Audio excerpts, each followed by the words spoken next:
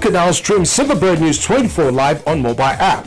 All you need to do is to download Silverbird News 24 app from Google Play Store on your Android devices and App Store or on your Apple devices. Tap the live button at the bottom bar to watch us live 24-7. You can enjoy all our news programs including PG News and program. Silverbird News 24.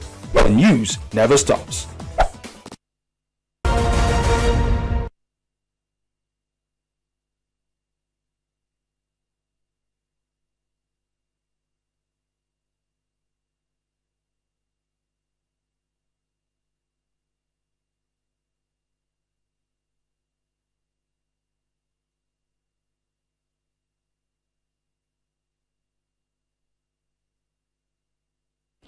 What the 2023 general elections is already near and uh, we are looking at how to address voter apathy.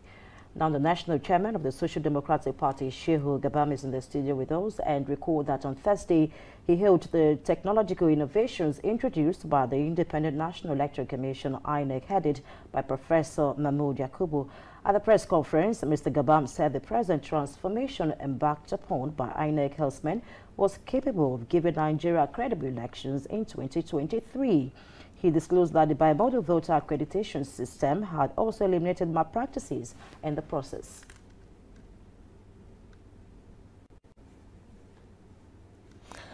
Okay, so talking about um, a voter, you know, it is something that um, we've been, it, the clamor for getting your PVC has been on for a very long time, and now people have gotten their PVC. But the issue now is what people would have to do with their PVC. Of course, he hailed INEC and um, the leadership of the present leadership of INEC of being, you know, really upfront and, um, you know, getting everything on set.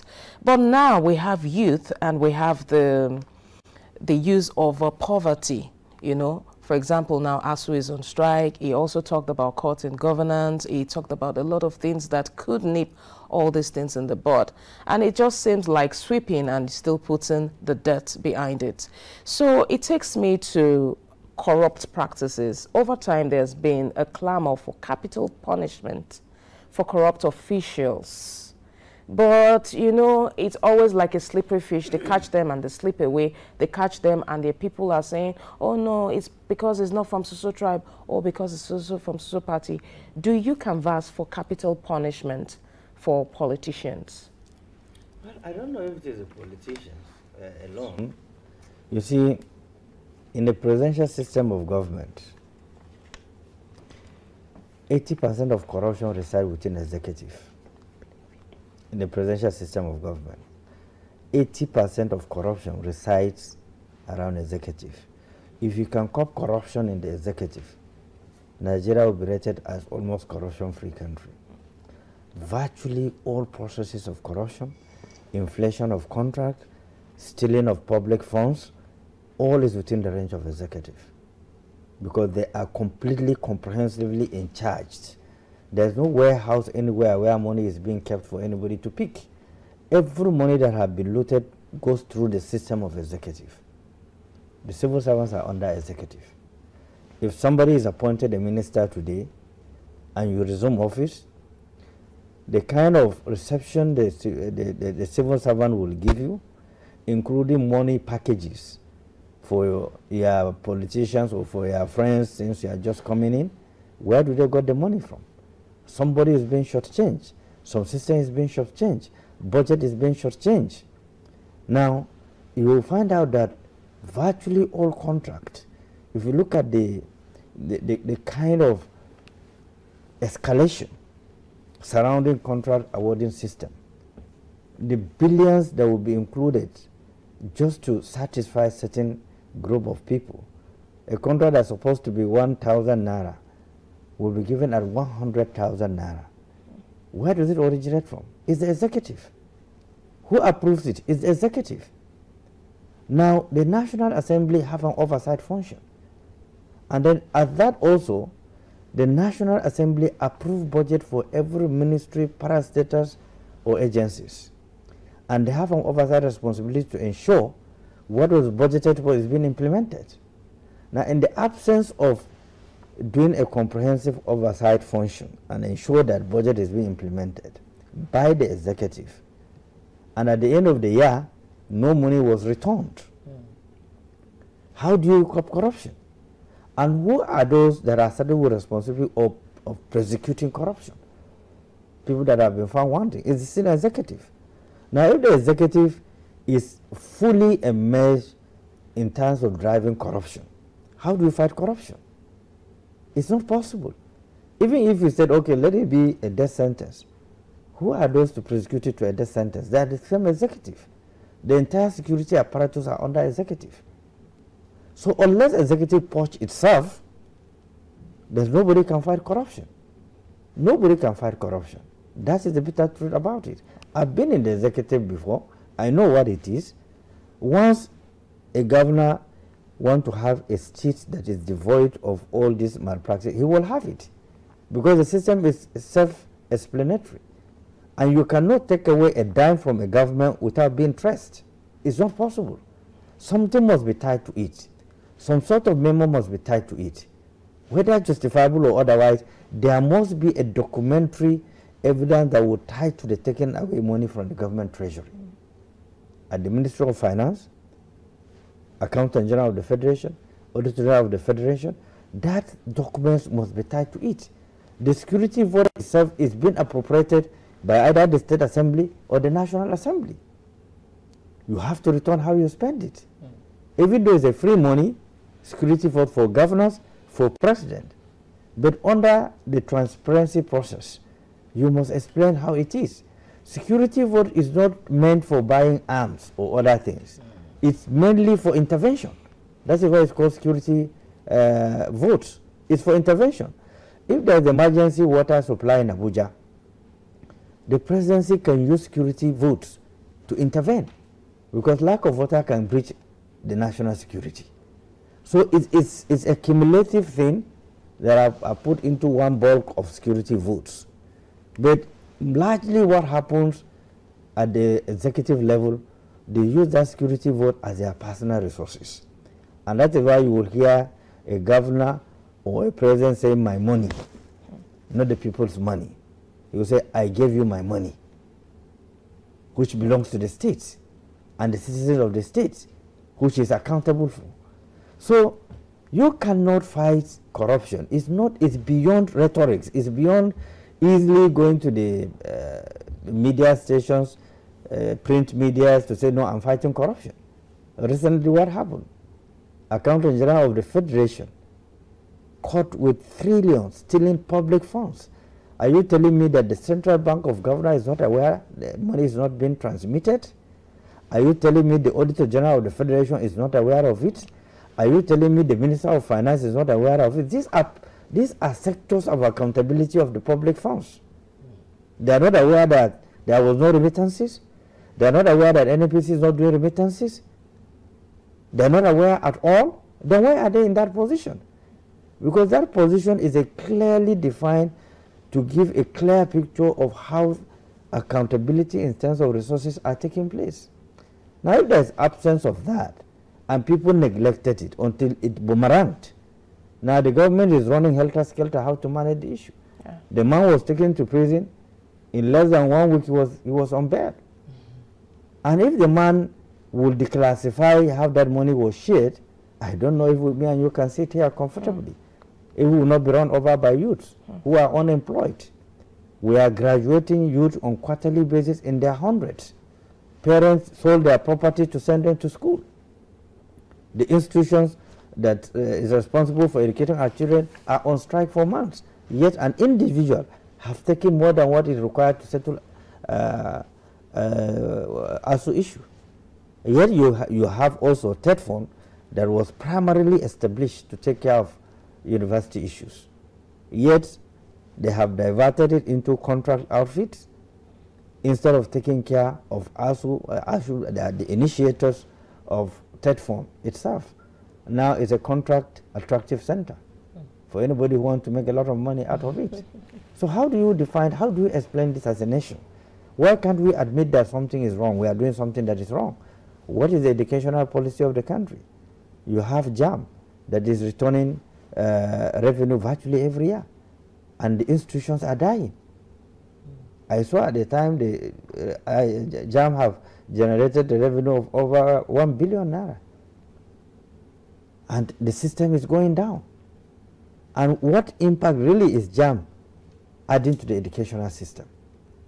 If you have your WAEC exam, if you have your NECO exam, every university on earth will give you admission. But you will not get admission in Nigeria. You have to go yeah. through JAMB. Mm. You have to go through other processes. Why do we suffocate our own people? Why do we suffocate our citizens? Why do we suffocate our children? Some of the brilliant children of, uh, of the parents that cannot afford to send them to university are doing very well in their exams. But they can't go further because of JAMB. Why will, will we allow such a system to hunt us down, to stampede the country? My, my, my, my, children are schooling, they are reading medicine and they, they, they got automatic admission by their WAEC result. So th this, these are issues that are very factual, that are palpable, that are touchable. But we don't have government that have a courage to say, look, stop this nonsense. At the point JAMB determine who got into university. And our university system are autonomous. They have the right to decide the, how, how they take people into the university the, the, the, the, the quota system. So th these are very, it's a very big challenge that the nation is facing. And they are man-made. They are not natural disasters. They are man-made. We made it to look like natural disasters because of lack of leadership, failure of leadership, failure of responsibility, because there is no deterrence. And in the absence of deterrence, this lawlessness will continue. So now you've uh, outlisted or numbered factors responsible for poverty, uh, uh, apathy, voter apathy, what would be your recommendation to see that it is effectively implemented? implemented? It's, it's very simple. Like the other, I mean, a while ago you mentioned what do we do to sensitize citizens to understand how critical it is to go and cast their votes. Yeah. I equally mentioned here that public holiday is being declared. If it is a state election, you declare public holiday. If it's a national election, you declare public holiday. Now, a lot of revenue will be lost along those lines. Yeah. Now, if the government and the private citizen will lose revenue, why don't we take it as a responsibility upon ourselves to educate our citizens, our youths, on the need to cast their vote and make sure that their, their vote counts. With the BVAS system, their vote will count this time around. Okay. They need to know this. They need to understand this. The era of thumb printing, the era of snatching ballot boxes is useless. Mm. Now, since we agree that something is fundamentally wrong, and we are privileged to have someone who have remodeled the system into count vote, vote counting, we have to capitalize on it as a nation, both as individuals, as corporate organizations, and let the citizens to understand their vote will count. That possibly will reduce drastically the voters' apathy. You know, again, if the country is able to bring sanity into this rascality, this, this recklessness of non-state actors challenging a state, mm. and people will feel that I'll go and cast my vote, nothing will happen to me, I will not be killed. That also would add value in reducing the voters' apathy as well. And then the, the, how conducive the environments are, the polling units are. If they are attractive, people will come and queue for two, three, four, five hours to cast their votes. That also will reduce the voters' apathy. But you cannot explain in a state where you have two point something million registered voters and somebody who have gotten 100 and something vote being declared the governor of the state, where do you drive legitimacy from? In the state where you have two point something million votes, and you end up being a governor with 100 and something vote, how do you claim legitimacy? How do you claim command of the state? How would you stop non-state actors from being charge of the state? We have seen in so many states, non-state actors will issue an order, people will comply, governor will issue an order, nobody will comply. Simply because there was no legitimacy. There was absence of legitimacy majority of the people of the state did not vote for the governor. But because of the processes that define how you declare somebody a winner, someone with, with, with, with about 100 votes will be a governor of a state that have 3 million populations. If you continue that way, how do you end insecurity? How do you end lack of legitimacy? How do you promote good governance? How do you make sure that a governor have a firm and grip control of the states? These are fundamental issues, whether we like it or not, that is playing out, that is leading to voters' apathy. There must be something attractive. There must be a reward system.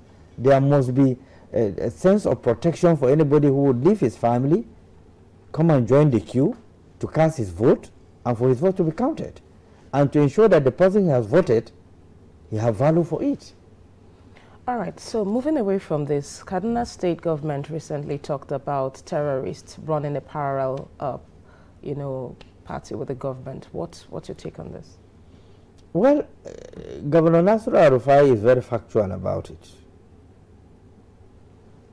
Whether you like it or not, is one governor that speaks his mind and is an operational person. Mm. The kind of security breaches that happens in Nigeria is very scary. You begin to ask yourself whether we have security agencies or security personnel in the country.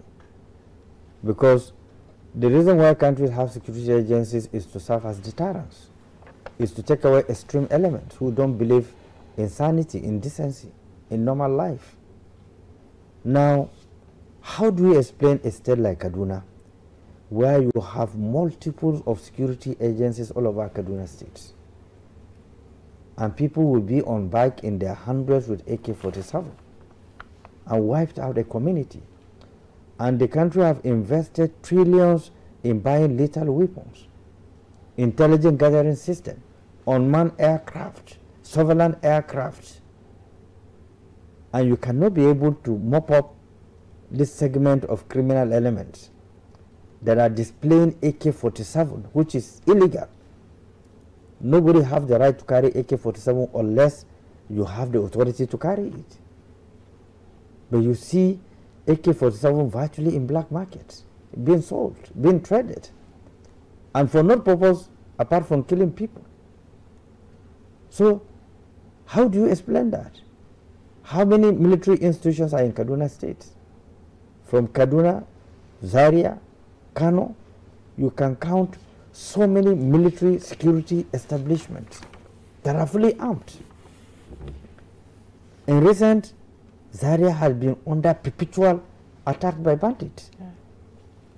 You have, you have uh, so many military institutions there. Barracks being attacked.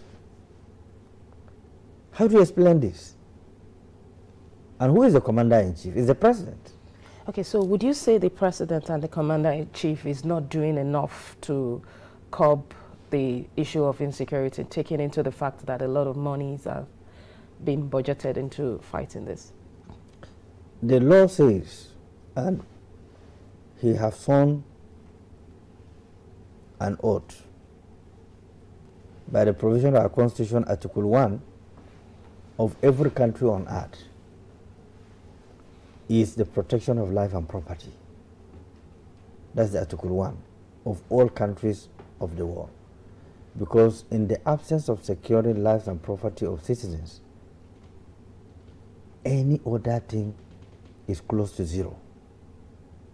Once there's no law and order, there will be no single investor that will come into your country. Even your domestic investor will not invest. Without law and order, you cannot have an enabling environment for economic activities to strive. Without law and order, you cannot have political environment that will conduct free and fair election. Without law and order, you cannot move to anywhere. So it's, by, it's, it's very critical, it's a cardinal uh, fundamental responsibility in stabilizing any country on earth. Now, with the number of crises we have seen, even of recent, with the correctional center in Kuje being bombed, being disrupted, with the president convoy being attacked on its way, the, the, the viciousness, the audacity being displayed, and with the number of order the president have given to the service chiefs, countless. Go ahead, clear them off. But perpetually you have seen a repetition of such barbaric act and excuse upon excuse from both the presidency again, the national security advisor, the service chiefs, and you ask yourself, was it that there was incapacitation? And again, you ask that, look, so many, so much money has been sunk into purchase of first-class weapons that have 100% precision accuracy, that can pick anything on ground and analyze it, and know whether it is an enemy target or it's a soft target. The Tucano aircraft that have been so much talked about have a lot of conditions attached to it. Nigerians are not aware of it. It's have a base to operate. There are other bases it cannot operate. When I heard it of recent, I was shocked as well. And I was wondering why should we go into such an agreement? And why should I, why should the government go into such an agreement with a conviction that crisis will not snowball into another area? It's just that what we had. Boko Haram have moved from the northeast to virtually all the state of the federation. Banditry have no boundary right now. Kidnappers and, and, and, and, and, and other criminal elements that are producing orphans every day, producing widows every day are on rampage. People that are into cultists are on rampage. So, was it that we don't have intelligence agencies? The answer is no. Was it that they are not brilliant, they are not brave? The answer is no. Nigerian security agencies are doing excellently well. They have capacity to nip virtually every situation. But by implication and by political reasons, they need to be given a command to do it. What's your take on state policing finally? There are fears the, the federal government have refused to swing into action because they feel that state actors will abuse that privilege given to them. Finally, what's your take on state policing? Apart from the state actors, the state actors cannot pay salaries in their states. They cannot pay retirees that have served the country in their adulthood. There is no reward system. You can go to a state, a governor have not paid retirees for close to two, three years. You see them sleeping on the floor. Mm. What kind of heartless position is this? Now, if you create a state police for a state that cannot pay salary, how will they buy operational gadgets for the state police? Vehicles, security uh, gadgets, weapons, uniforms, so on and so forth. It's a lot of resources you have to sunk in. Now, for a state that cannot pay simple salary, how do they deal with that? The essence of creating police is to curb crime and criminality. Now, it's not just about giving them uniform. If it is just about uniform, you don't need you don't need them. But what we say, look, government must be creative.